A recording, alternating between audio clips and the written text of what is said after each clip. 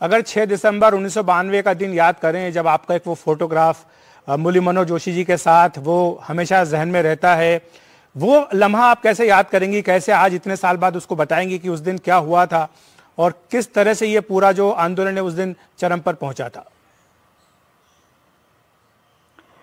जब से मेरे जैसे लोग जुड़े थे या मैं जुड़ी थी 1985 से इस अभियान के साथ। 12 साल की उम्र में मैंने पहली बार वो डिस्प्यूटेड स्ट्रक्चर देखा था और मुझे लगा था कि हिंदू समाज के साथ बहुत अन्याय हुआ है, कि वो अपने आराध्य की जन्मस्थली पे पूजा नहीं कर सकते। लेकिन मेरी उम्र उस समय बारह साल की थी।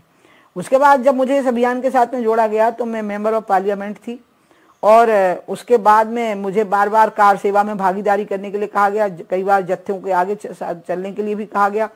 लेकिन मैं आपको बताऊँ, मैं कभी सोचती थी कि जो पहले की जो लोग सेना में भर्ती होते हैं, उन्हें पता होता है कि लड़ाई पे अगर हमें बुलावा आ गया तो हम मारे जाएँगे।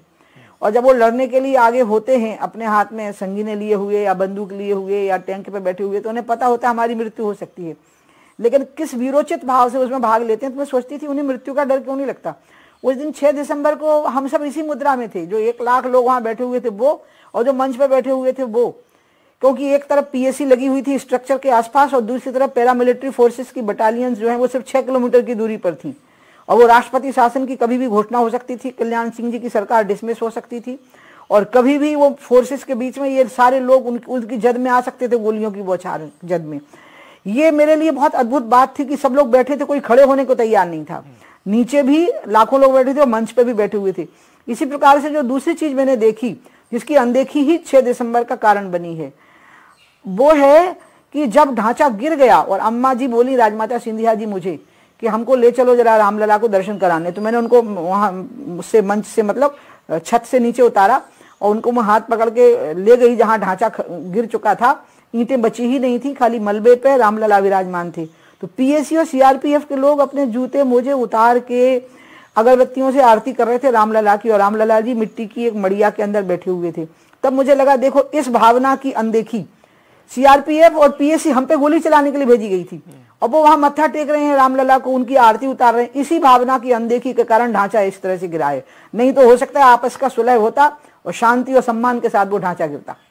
बिल्कुल क्योंकि बीजेपी तो ये कहती आई थी जब से पालमपुर में राम मंदिर को एक तरह से राजनीतिक प्रस्ताव में शामिल किया था। बाद में तो ये कहा गया कि या तो आपसी बातचीत से हो या फिर अदालत के ज़रिए हो। तो ये जो 6 दिसंबर की घटना थी जिसके बारे में अटल जी ने भी, आडवाणी जी ने भी बाद में कई मौकों पर कहा कि ये बहुत दुखद घटना थी, ऐसा नहीं होना चाहिए था। उसका कारण ये था कि सबसे पहले तो जब ताले खुले थे तो बाबरी मस्जिद एक्शन कमेटी बनी थी। ये एक राजनीतिक तरीका था राम जन्मभूमि को देखने का। उन्होंने कहा कि हम वहाँ जाकर के नमाज़ पढ़ेंगे, जबकि नमाज़ वहाँ वर्षों से बंद थी। और नमाज़ जैसे ही पढ़नी बंद हो जाती है तो एक समय के बाद में वो एबेंडेंट स्ट्रक्चर माना जाता है, उसको मस्जिद का दर्जा रहता ही नहीं है। तब जाकर के बीजेपी ने पालमपुर के जो अधिवेशन हुआ, राष्ट्रीय कार्य समिति की जो बैठक हुई है, उसमें ये प्रस्ताव पारित किया कि हम ये मानते हैं कि जहाँ रामलला विराजमान है, वहाँ भव्य मंदिर का निर्माण होना चाहिए। लेकिन मंदिर के निर्माण के लिए जो रास्ता अटल जी और अडवाणी जी सुझा रहे थे, वो ये नहीं था कि ढांचे को ज़ोर ज़बरदस्ती से गिरा करके हो।